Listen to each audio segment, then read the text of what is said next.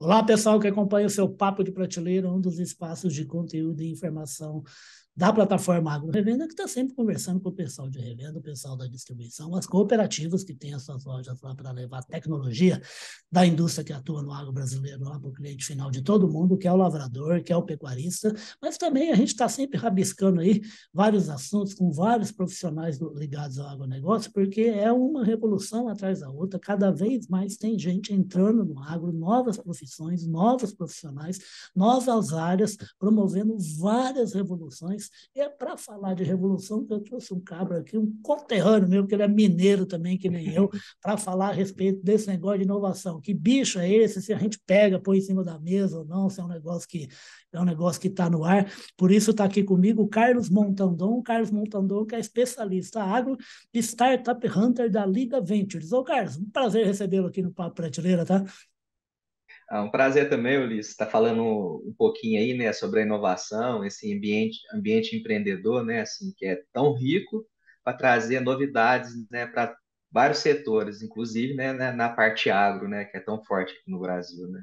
Isso é, é verdade. Eu já, vou, eu já vou abrir falando, eu falei que ia brincar um pouquinho com o Carlos, porque o Carlos eu gostei desse nome, já, Startup Hunter. Na verdade, eu Isso. vou imaginar que é um caçador aí de possibilidades de inovação para levar para as empresas. É isso mesmo? Errei, me corrija, fala o que, que é que você faz no dia aí na liga.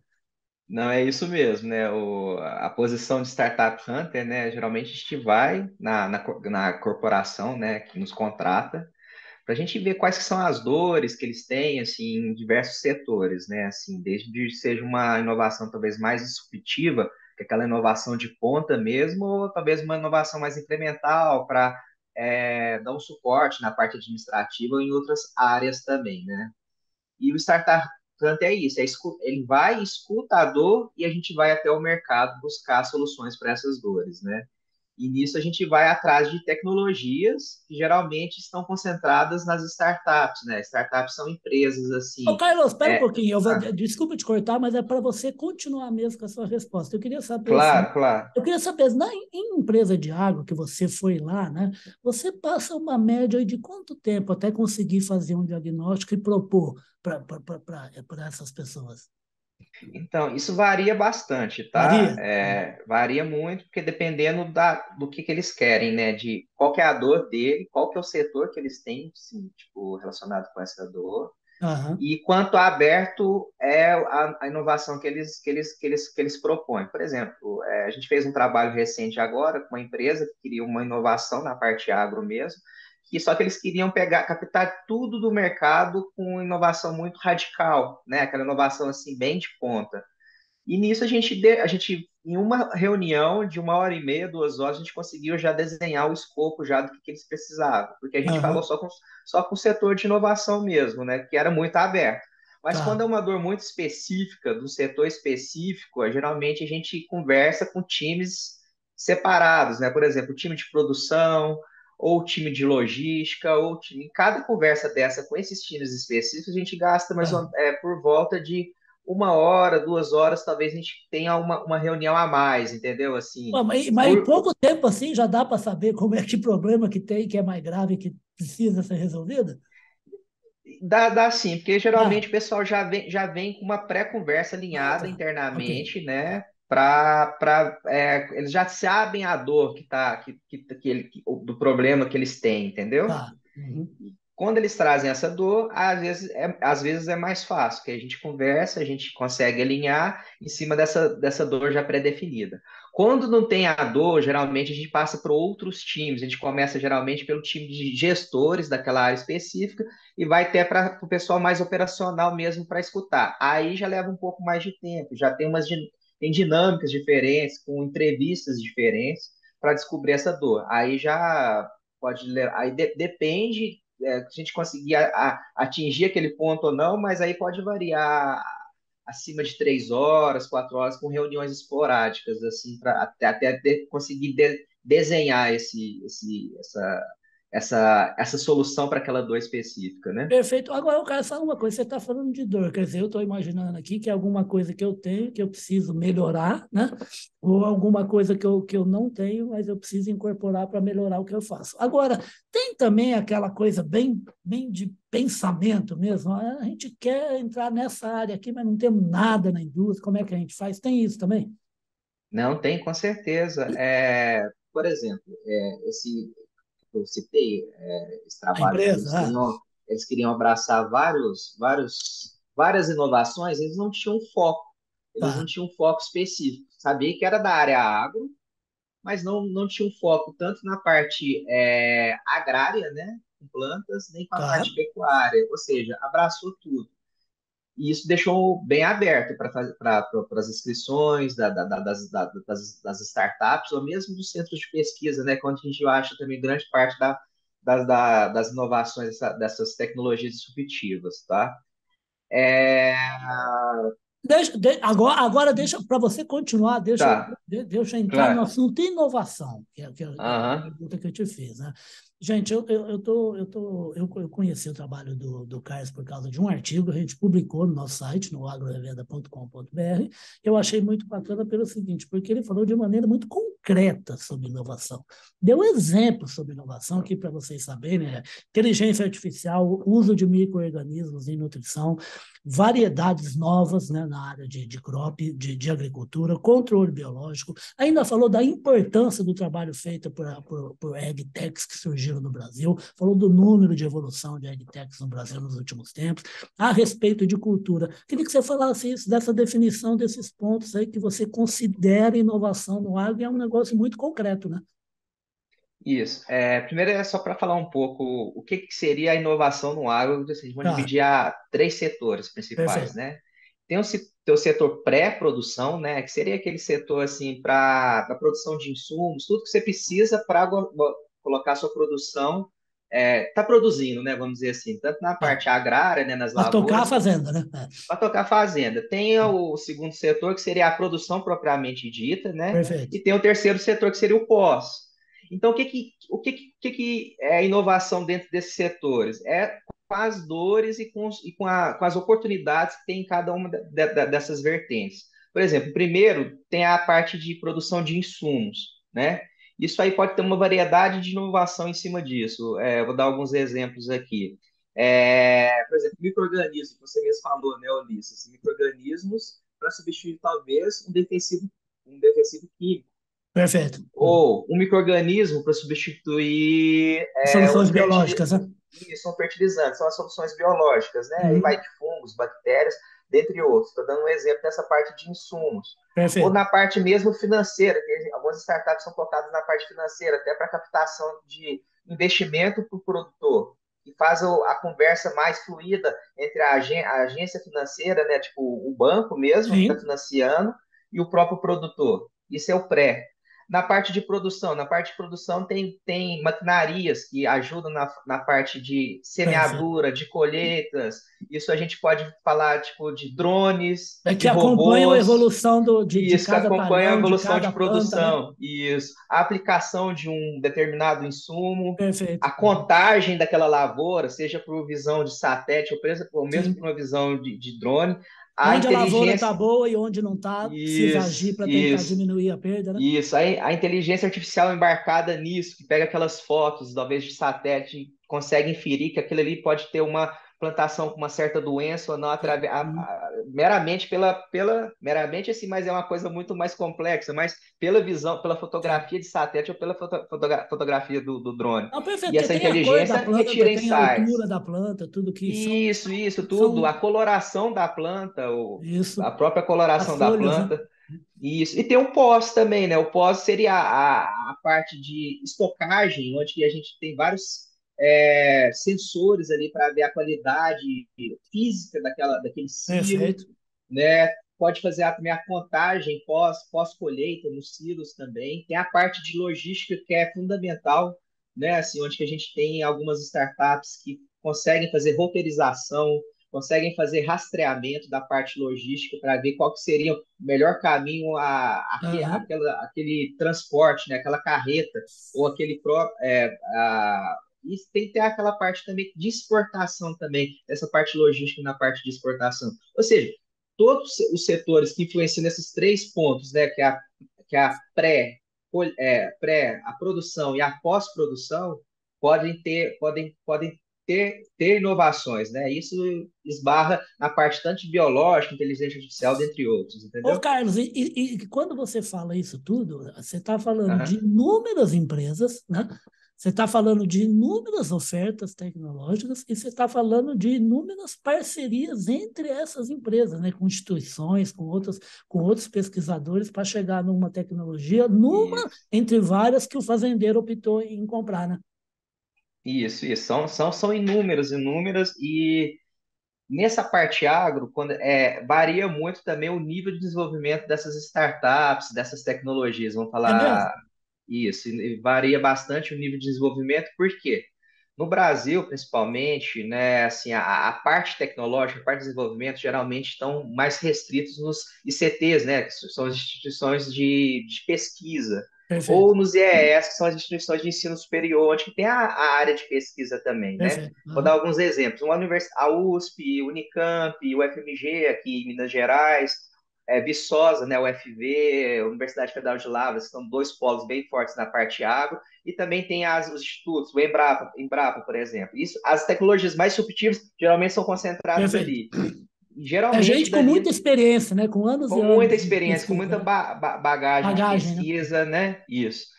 É, e os laboratórios também são concentrados nessas áreas, né, para a parte dessa parte de desenvolvimento. Não falo só na parte de biológica, que é mais concentrada a biotecnologia nesses centros, mas a própria a própria parte de TI, de inteligência artificial, as digital também são são desenvolvidas ali. Elas se associam, nasce, né? Isso, essa, tem essa associação. E nisso nasce então a startup, que a gente geralmente fala de spin-off acadêmica, dentro dessas instituições, onde que faz então essa ligação é, melhor dizendo, essa ligação entre esse mundo acadêmico, que é um mundo um pouco mais complexo de conversar, ah.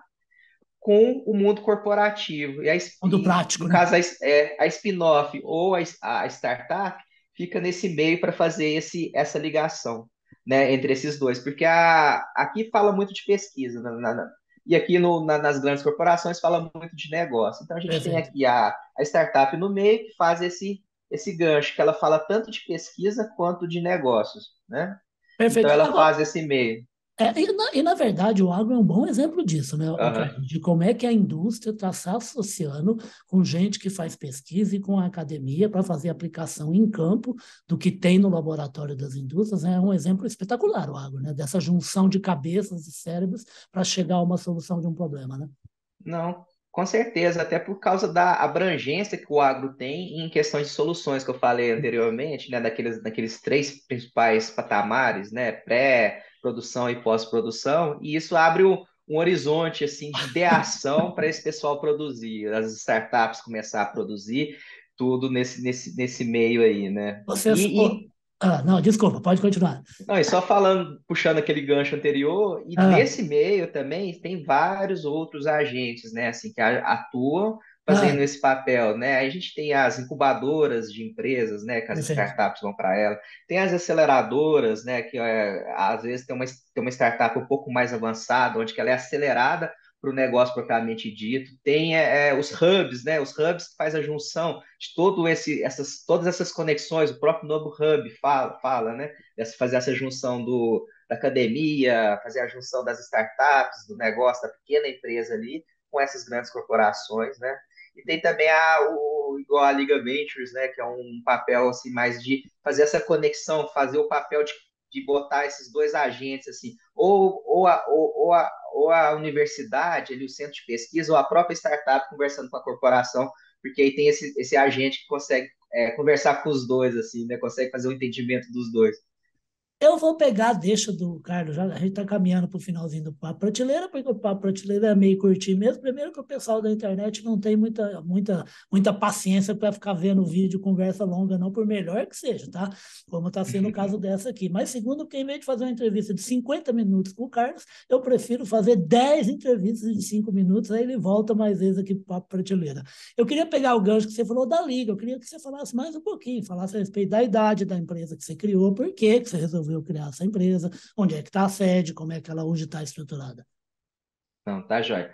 A Liga Ventures, né, ela iniciou em 2015, né? É, na verdade, eu sou, eu sou um analista da empresa, né? Ela foi, uhum. foi, foi, três founders que criaram, foram visionários na época, para criar, que sentiram que no mercado precisava de empresas que faziam de fato essa conexão, fazer, conseguia conversar com a startup, com, ou mesmo com o centro de pesquisa, Perfeito. e conversar também com a grande corporação.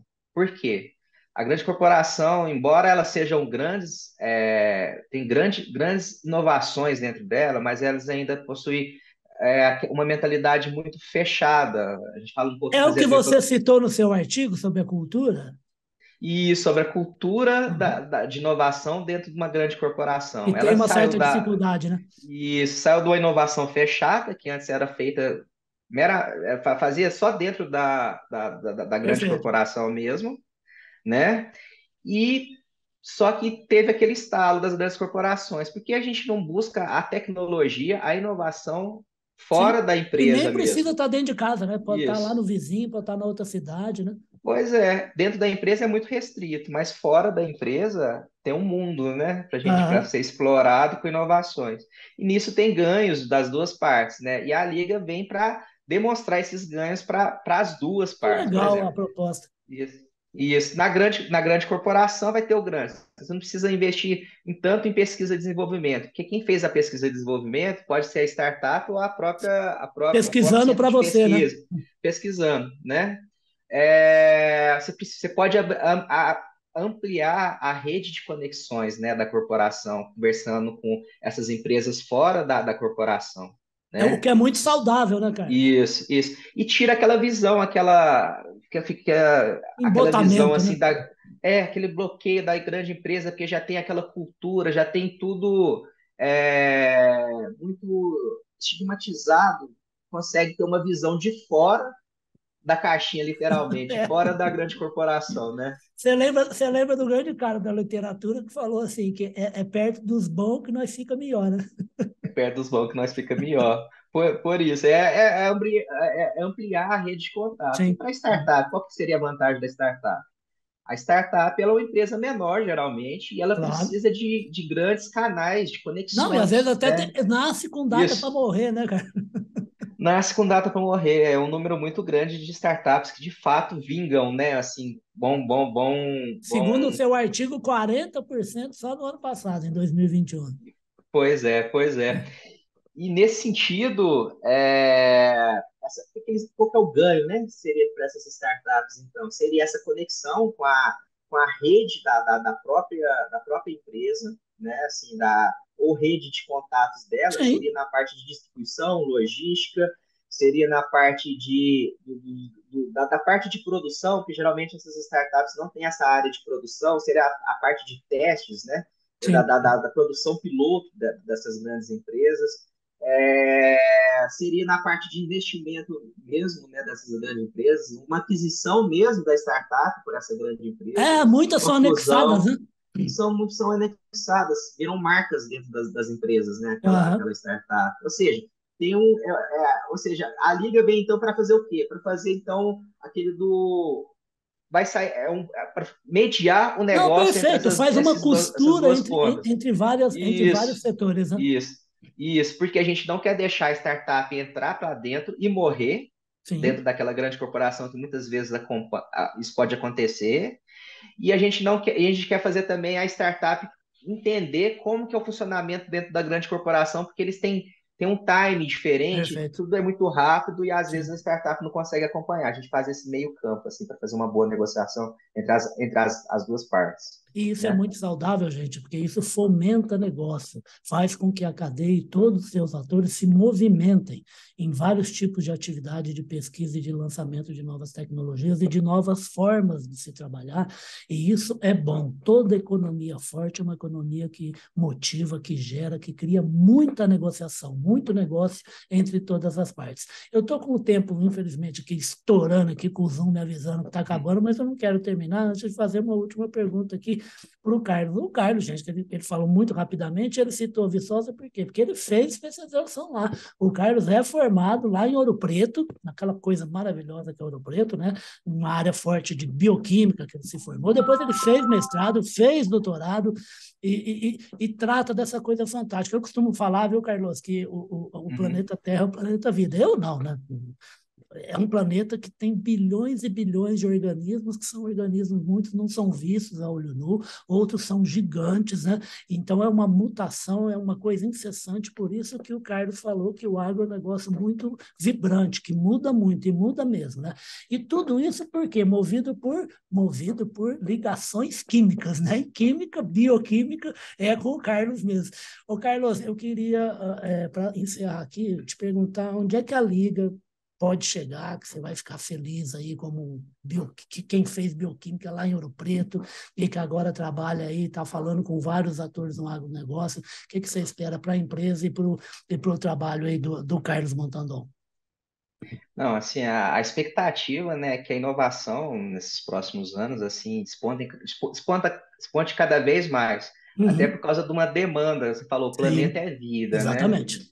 E hoje tem uma sigla, né, ISD, né, que é a parte ambiental, social Sim, e a parte de governança, total. que é muito forte. Então, eu espero que a Liga consiga né, fomentar essas conexões dessas pequenas empresas, pesquisas dentro das universidades, dentro das startups, com as corporações de cada vez mais, para trazer para a gente, né, assim, para o público mesmo, para as pessoas, é, produtos mais seguros, produtos mais sustentáveis, principalmente na parte agro, né? Assim, a gente tirar também essa, essa visão do agro, assim, o agro como vilão, não, o agro não é um vilão, o agro ele é um ele, é um, ele é um é um, é um grande agente para produção, assim. Você citou no artigo essa questão da comunicação, isso, né? se apresentar isso. do jeito correto. Né? Isso, seria tipo na parte de alimentos, na parte assim, da parte de vestuário, energia, tudo o agro tá ligado. O agro dá, dá sustentação para tudo isso. E gra graças então a essas novas tecnologias, essas inovações, essas startups, a gente vai fazer, fazer conseguir fazer essa ponta desse desenvolvimento mais sustentável, né? Isso que é, é o papel da liga nesse meio termo e promovendo cada vez mais esse crescimento e essas conexões.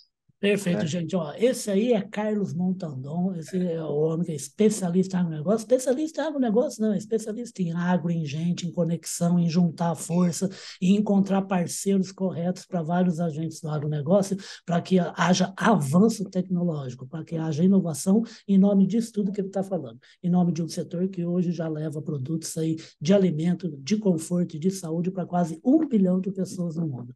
Eu queria agradecer demais. Obrigado, Carlos, pela sua presença. Vocês vão ouvir falar mais do Carlos aqui, porque ele está no momento certo, na hora certa, no negócio certo, que é fazer todo mundo juntar força para ter ideias que por um ano, dois anos, três anos, dez anos, não importa. O que importa é que essas ideias frutifiquem ajudem o agronegócio a produzir alimento e produtos de saúde e de conforto. E vocês vão ver mais vezes, que eu vou chamá-lo mais vezes aqui, porque, como eu costumo brincar, viu, Carlos? Tem uns grupos uhum. que eu puxo o saco mesmo, né? E um deles é o grupo de quem nasceu em Minas Gerais, as minha, a minha ah, Minas Gerais, e o Carlos é, é lá do beli, belíssimo Horizonte, a capital mineira. Gente, vocês acompanharam a conversa com o Carlos Montandon e vão ver essa conversa nos nossos dois espaços de internet, que é o nosso site de notícias, o agrorevenda.com.br, o nosso site corporativo corporativo, que é o grupopublic.com.br, e a conversa com o Carlos também se torna o podcast Radar Água, que a gente publica aí nas plataformas, na Amazon, no Deezer, no Spotify, na Apple e no Google. E a gente está sempre conversando, como vocês sabem, com o apoio aí, com a parceria, o patrocínio do Clube Agro Brasil e o Clube Agro Dealer, que também faz conexão igualzinho a Liga Ventures e igualzinho o Carlos, faz conexão entre a indústria e o cliente final que está lá na fazenda e tem dentro as distribuidoras através da, da área de dealer do Clube Agro, para que todo mundo compre bastante produto para usar na fazenda e recebe bônus de vários programas e usa o bônus para quê? Para comprar mais produto para usar na fazenda, para produzir mais, como o Carlos já falou que temos que produzir, temos que dar o braço para produzir. Carlos, super obrigado e até a próxima, tá? Eu que agradeço. Obrigado pelo convite aí, viu, Ulisses? Tchau, tchau, querida. Tchau, tchau.